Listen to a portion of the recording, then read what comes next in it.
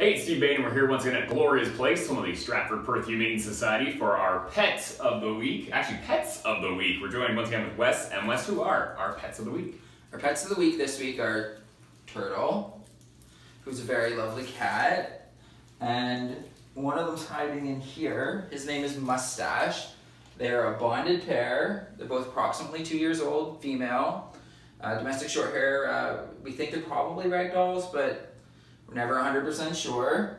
Um, yeah, they're good girls. They're just very shy, uh, and they are being treated right now for some anxiety. Um, but yeah, if they get adopted, when they get adopted, they have to be adopted together. But we'll give you some medication to wean them off of.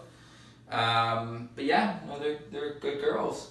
And yeah, definitely, we were here for a few minutes trying to get them to, and Turtle came up first to play with us a little bit, which is excellent to see. Now you're saying that uh, it might be a little bit before they can actually be adopted, but people can still come and uh, meet with them right here in the room, right? Right. No, and they could actually be taken home, oh, but we would just uh, we would just continue the medication plan with the person, that, and we'd give them enough medication to go home with. Oh, perfect. Um, but yeah, because they'd obviously do better outside of this environment versus in it. All right. Um, so yeah, we just like to support them when they leave, uh, especially if they're on something for behavior. Oh, there you go. So come on in and adoption ready to wonderful cats. Oh, there you go.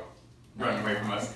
And now, if anyone wants to come and meet um, this lovely pair or any other animals up for adoption, how can they contact us? They can contact us on Facebook, Instagram, Twitter. Obviously, they can come in and see us. Um, call us. Any way you can, get a hold of us.